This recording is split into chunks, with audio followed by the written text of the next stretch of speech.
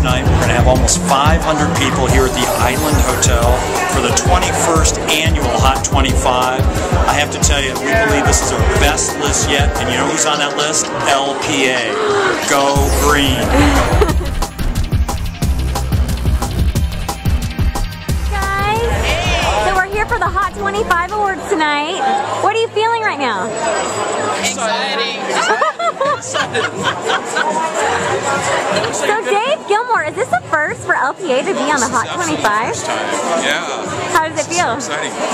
Oh, that's just terrific. And they said this uh, this is the best list that they've seen in 21 years. Oh, really? Yeah. Well, we know we've been hot for 25 years. you know, they're just now discovering us as a firm. And Karen, you've worked with several of the the um, people that won on the list. Yeah. Tell me about that. Well, it's nice to be with people you know. So Definitely. exciting some good to be with. relationships there. Yep, absolutely. That's terrific. So who's going to go up and accept the award? Uh, I think, I think Dan's gonna go up and accept. Listen, Dan might Yeah. call that. Okay, that sounds good. All right, well, we'll see you afterwards. Okay. Okay. thanks. actual firm that is changing how we live, work, and play, was ranked among the top five greenest design firms in education in the nation this year.